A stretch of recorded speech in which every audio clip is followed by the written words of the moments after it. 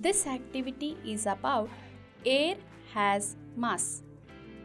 Materials required to do this activity are a stick or a pipe of approximately 50 centimeter in length, a blown balloon, a balloon and thread.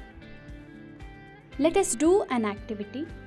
Take a pipe, tie one balloon with one end of the pipe with the help of a thread. Tie a blown balloon to the other end of the pipe with the help of a thread.